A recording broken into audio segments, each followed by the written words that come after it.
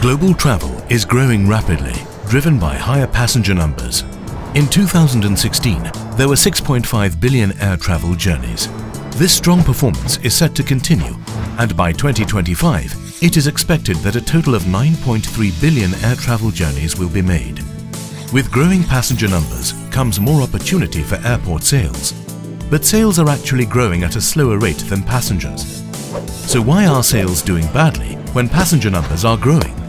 Whilst there are many reasons for passengers either not buying or buying very little, one reason is stated by 49% of travellers. This inability to carry also explains why less than 10% of shoppers in the airport use a shopping basket. Those who do will spend three times as much as the average. Duty-free innovation have taken on this challenge and developed two unique products, both custom designed for the travel retail business.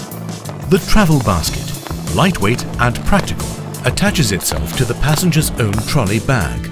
The basket enables browsing around the store and the easy selection of products for purchase. Once the shopping journey has been completed, the travel bag provides the ideal way to transport goods for the remainder of the trip. Therefore, Travel Basket and Travel Bag working together to unlock the door to new revenue and profit potential.